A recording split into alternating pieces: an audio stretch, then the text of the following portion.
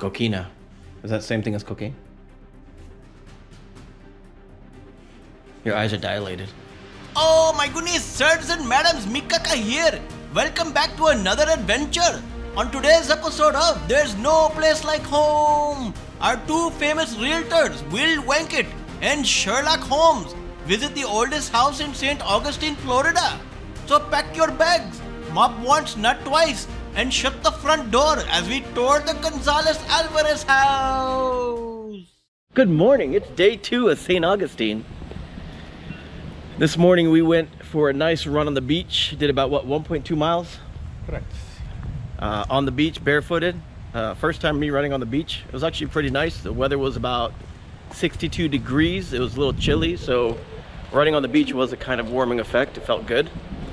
And then uh, we got back to the hotel, had some breakfast, and then there's only one shower in here. And the worst part about this whole thing was that Kurt took the massivest, nastiest, acidic turd possible Diarrhea. and it was nasty as heck and I had to wait at least good 10 20 minutes just to take a shower which delayed us but we're on our way to Flagler College I still haven't done a room tour yet but the room's a little messy right now so you're gonna probably get a messy room tour here later on this afternoon Kurt got his little coffee here from the hotel motel Pumpkin Holiday spice. Inn pumpkin spice he's getting ready for October and November so yeah, we're gonna hit Flagler College now and check out the amazing Flagler College by Mr. Flagler himself, notorious rich guy.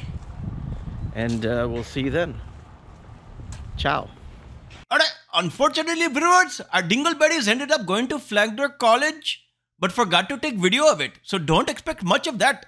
So now I introduce you to the oldest house in St. Augustine, Florida, the Gonzalez Alvarez house. So right here we have the oldest house, oldest house, oldest house in St. Augustine. And here's a little bit about it. For more than three centuries, this site has been occupied by St. Augustinians. Beginning about 1650, a succession of thatched wooden structures were their homes. The Coquina Stone house was built soon after the English burned St. Augustine in 1702 and originally was a one story rectangle with two rooms. As times changed during the Spanish, British, and American occupations, a wooden second story, an off street porch, and other features were added. Preserved by St. Augustine Historical Society in 1918, the house became a registered national landmark in 1970. A home for over 400 years, known by many as the oldest house, the Gonzalez Alvarez house. Wow.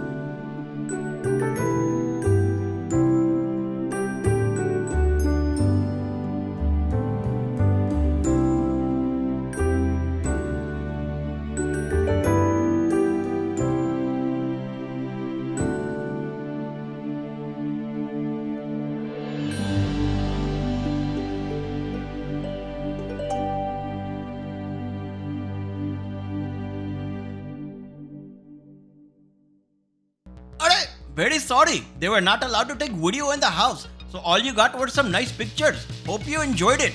Oh my goodness, my friends, this video has come to an end. I hope this experience has brought much joy and laughter to your heart and soul.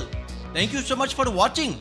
If you enjoyed this video, please give it a thumbs up and hit that subscribe button. Don't forget to turn on notifications so you never miss an update from us. And if you want to stay connected, be sure to follow us on all our social media platforms. Your support means the world to us. Hey, why didn't the horse buy a house? Because the costs were mounting. Alright, I did good. Okay, ding ding ding, thank you, come again. Check out the package on this guy right here. He must have been bulging and surfing. That's cheating extra weight.